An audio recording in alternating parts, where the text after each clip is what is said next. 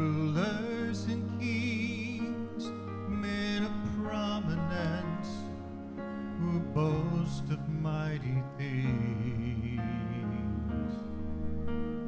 History will tell us of all they've done and said, but there is only one king who arose up from the dead.